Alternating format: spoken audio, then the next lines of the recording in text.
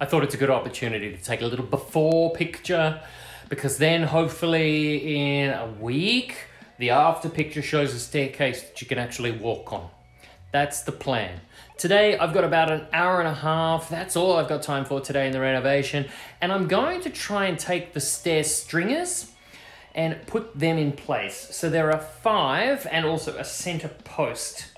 This is fairly easy putting the staircase back because, well, the pieces are already cut. I just need to put them all together again and see exactly where it fits into the stairwell because the dimensions of the stairwell have changed a little bit with the renovation.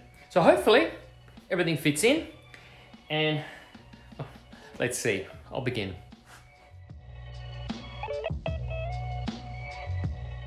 Okay, look, um, now I'm gonna have to draw this out. I'll do some computer work tonight, work out a plan.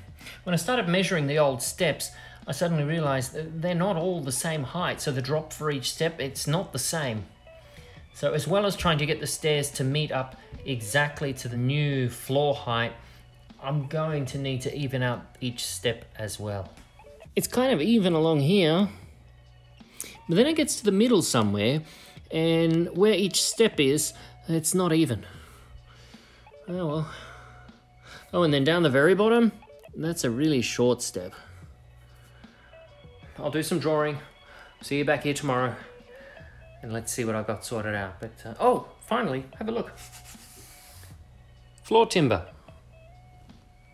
It looks nice. That'll be an exciting stage to get to later on. But not yet. More stair building tomorrow. Thanks for watching. Bye.